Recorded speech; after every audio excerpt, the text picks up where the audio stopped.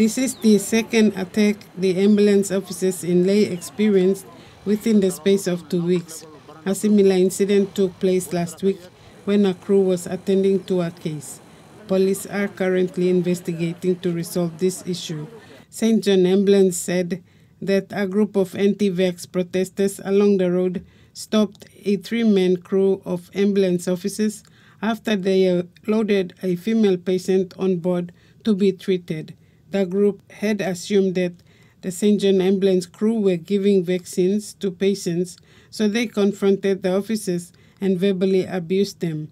They accused them of uh, conducting COVID 19 vaccinations in the communities and threatened to smash the ambulance.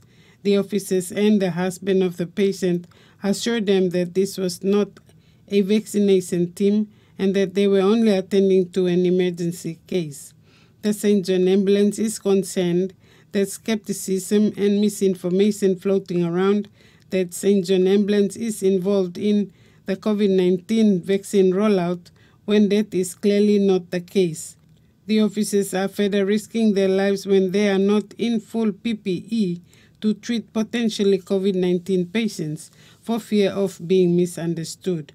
When people see St. John ambulance officers in full PPE to attend to emergency cases, they assume that they are doing a vaccine rollout.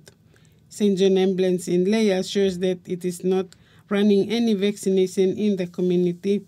Instead, the ambulance teams are here to help people in Lae in times of emergencies. St. John Ambulance calls on the Lae community to respect ambulance officers during this time as so many more people are in need of help. Frida Kana, TVWAN News.